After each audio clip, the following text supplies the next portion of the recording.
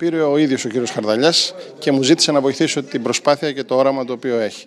Ε, και ανταποκρίθηκα αμέσως. Πιστεύω ότι αυτή τη στιγμή γίνεται μια μεγάλη αλλαγή στο, στην Αθήνα.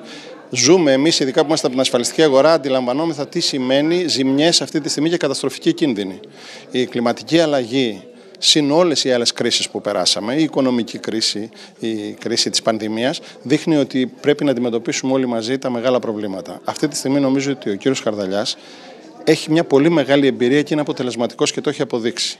Θεωρώ ότι έχουμε χρέος να στηρίξουμε όλη μια μεγάλη προσπάθεια να αλλάξει επιτέλους η Αθήνα που έχει το μισό πληθυσμό της χώρας και καταλαβαίνετε ότι έχει και τα πολύ μεγάλα προβλήματα. Ε, υπάρχει λοιπόν μια μεγάλη αλλαγή που θα πρέπει να γίνει από αντιπλημμυρικά έργα μέχρι ανάπτυξη τουριστική της Αθήνας η οποία θα να δώσει εισόδημα, να δώσει προοπτική, να δώσει όραμα στον κόσμο του λεκανοπεδίου το οποίο έχει τρομερά προβλήματα.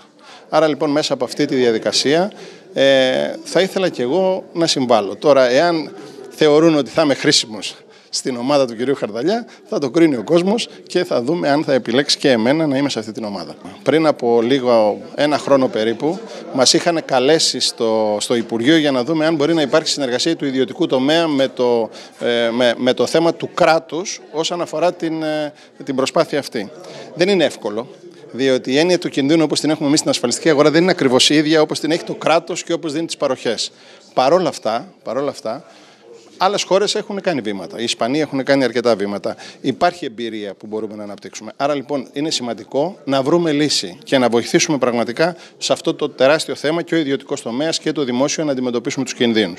Η υποχρεωτικότητα που προσπαθεί να επιβληθεί από πλευράς της κυβέρνησης είναι πολύ θετικό, κατά την άποψή μου. Διότι τι θα βοηθήσει, σε τι θα βοηθήσει, επειδή έχουμε χαμηλή ασφαλιστική συνείδηση, θα μειώσει στην ουσία τους κινδύνους, θα μειώσει και τα ασφάλιστρα, διότι όσο περισσότεροι θα μπουν σε αυτή την προσπάθεια, σημαίνει μείωση ασφαλίστρου, γιατί στατιστικά θα έχουμε καλύτερα αποτελέσματα. Άρα πρέπει με πολύ προσεκτικά βήματα να δούμε πώς μπορούμε να βοηθήσουμε την κατάσταση και στον ιδιωτικό ασφαλιστικό χώρο. Είμαστε σε μια φάση όπου το δημόσιο δεν κάνει ασφαλίσεις, δεν ασφαλίζει τον εαυτό του.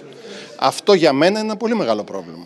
Διότι δεν μπορούμε να έχουμε δύο κόσμους, το δημόσιο και τον ιδιωτικό τομέα. Πρέπει να βρούμε λύση ώστε όλοι μαζί να συμβάλλουμε στο να αντιμετωπιστούν οι κίνδυνοι.